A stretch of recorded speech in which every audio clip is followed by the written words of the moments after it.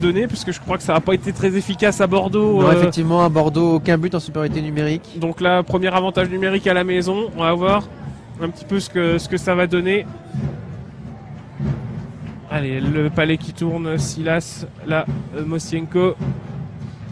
Le palais qui, qui- On a du mal de, de faire bouger la, la défense euh, amiénoise. Ça va revenir devant le but. Allez, but Ouais, et le but de, de Mosenko, le numéro 8. Tyler Mosienko. Et ben voilà, il n'y a pas eu besoin Non, de. non c'est Connor Varley, pardon, pour moi.